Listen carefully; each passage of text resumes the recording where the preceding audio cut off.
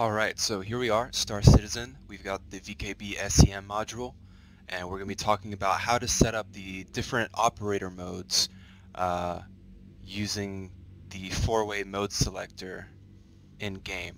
So we're going to be setting up scanning mode, mining mode, uh, which is also salvage mode because they use the same keybind, and then the final mode will basically be the extracting mode for mining or the head switch when using salvage mode. So setting this up is a bit tricky because of the way that Star Citizen handles their keybinds. Everything is a toggle and when you take a look at something like extractor mode, it's not really its own mode, it's more just like switching between something. Um, so it makes it tricky because if we switch to extraction mode and then back to mining mode, the mining mode's going to turn the whole thing off. Alright, so to start off, I'll let you know what my settings are. So I have mode 3 set as the resting position. Mode 2 goes into mining.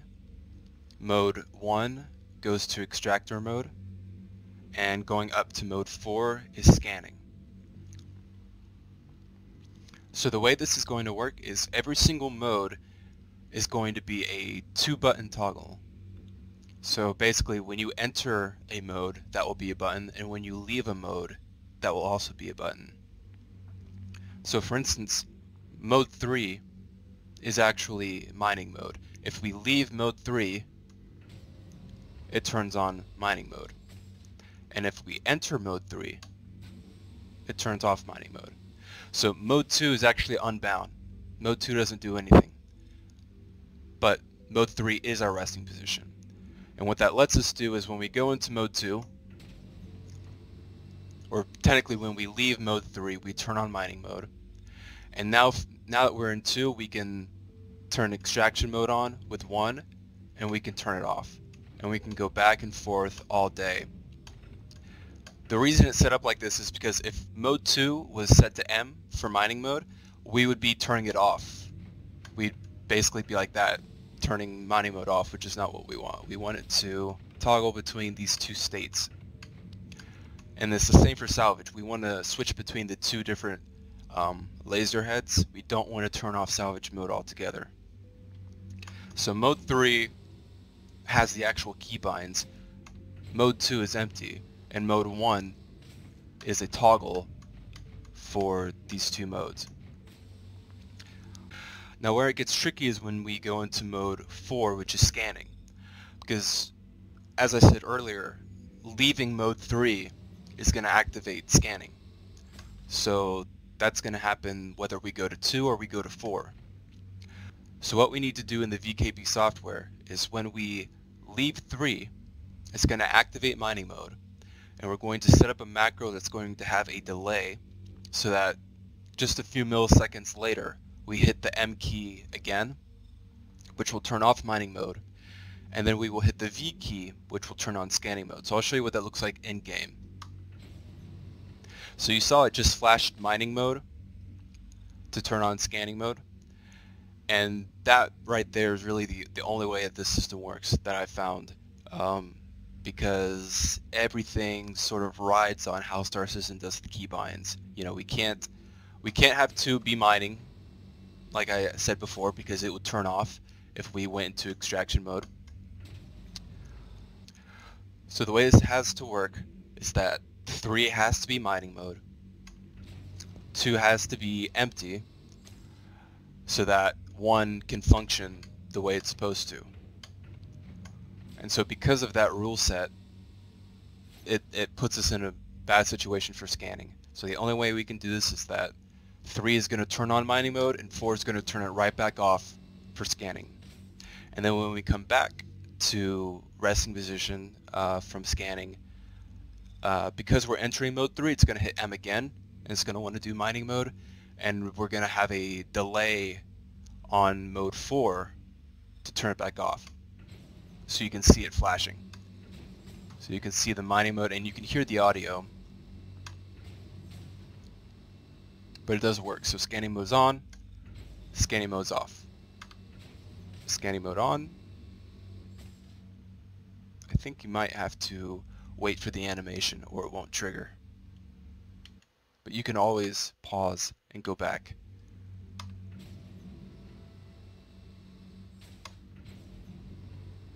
Like that. Alright, so talking about how this is set up in the VKB software. Um, first thing you want to do is come over to Profile, Buttons, Physical Layer, and this shows all of your physical buttons.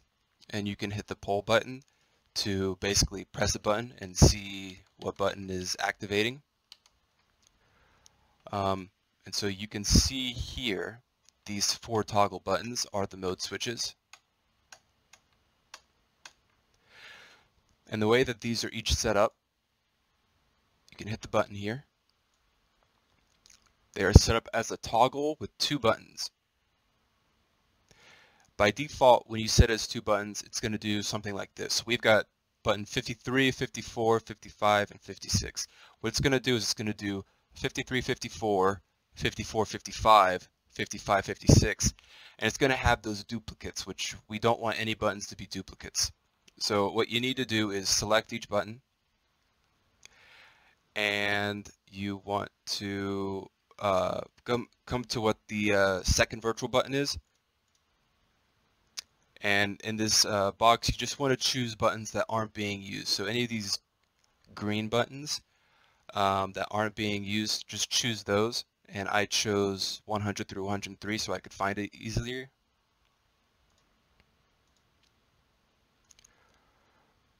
Okay, so with all of your buttons set up, you don't have to match me perfectly. Just make sure that every button is unique, and there's two for each. And basically what we're going to do is, what I use is JoyToKey, which basically lets you turn some buttons into keyboard buttons, which now that I've delved into this software, I realize you can do the same thing in the VKB software. You don't need this. but this is what I've been using. Um, so for this tutorial, that's what I'm going to be doing all the keyboard buttons in. But just to make it clear, you can do keyboard buttons in this software as well. So before we get started with the actual keybinds, um, just letting you know that you can do any sort of, uh, you, you can put any mode on any button you want, I guess. You're just going to have to do, you know, your own bit of problem solving to figure out how that layout's going to work. So you can take the ideas from this video and if you don't like the order I have put the modes, you can switch it up. Um, you might run into a conflict, not sure. Okay, so to get started, we've got our mode in the resting position, which is uh, mode 3. And we can see here that this button is 55 on entry and 102 when leaving. So basically anytime we come into 3, we hit 55. Anytime we leave, we hit 102. So we scroll down here.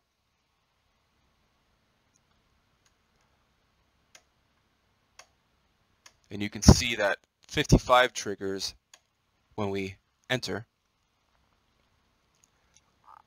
And 102 triggers when we leave. So both 55 and 102 are set to M for mining mode or salvage mode. And so what that's going to do is when we leave, it's going to turn it on. And when we come back, it's going to turn it off. And like I said before, mode 2, these buttons 54, 101, um, those are unbound. They do nothing. So once you've got that set up, next one will be extraction mode, which is mode 1, which is button 53 and 100. So 53 is right click because that's the default uh, mouse and keyboard keybind for extraction mode. And if we come to 100, it is also mouse right click. So now we can go back and forth and all it's doing is it's pressing right click switching between extraction mining, extraction mining. Alright, now for mode 4 which is scanning mode, we are not going to be using this software anymore um, or setting our keyboard keybinds. Um, like I said, you can use the software to do this, um, but we're going to be using macros for this. So let's hop into that. So what you want to do is you want to come down to your macro key. And the way it works is you've got your macro numbers, macro 1, 2, 3, 4, and so on, and you have your number of actions. And if you check this box, it basically continues the action. Um, so I believe everything would just shift down and you can add more, I, I suppose, vertically. So for our first macro, we've got a void, which you select in this drop-down. You select void, and then you add a delay of 25, which multiplies by 10 to be 250 milliseconds. So what happens is you go from 3 to 4, and leaving 3 hits the M key turning on mining mode, which we don't want. So we wait 250 milliseconds, we hit M again to turn it off, then we wait and we hit V to turn on scanning mode. Our second macro is going to be when we go from 4 to 3. And basically what happens is we go from scanning mode back to 3, which is going to activate mining mode, which we don't want. So we're going to wait and we're going to turn it off with mining mode. And once again, I'll show you how that looks in game. So you saw mining mode flash and we went scanning and then mining mode flashed again and we turned it off. That way this is always the resting position and this is scanning. We don't have to hit any other buttons, it's just the it's just the mode switch. Okay, now we're going to assign these macros to mode 4, which is this button right here, 56 and 103. And by clicking the physical button here, you will get a pop-up which shows you the logical buttons and you can see 56 is being wired to macro 1 and 103 is wired to macro 2. And that's the last step really. Once you've got that, every mode should be working and you can go into mining mode, out of mining mode, you can go into scanning mode and it will sort of fix the problems that are inherent in this setup um, for which I don't know any other way to get around it besides just not doing scanning mode. Uh, the only other way would be to have another gap the way that mode 2 is unbound and it's sort of a gap where we go from 3 to 1. Uh, we would need to have five modes in order to avo avoid this. So we would go from 3 to 4, 4 would be empty, and 5 would be scanning. Um, so it's not a perfect solution, but it does work, and it's uh, reliable. So anyway, hope that helped you guys, and have a good one.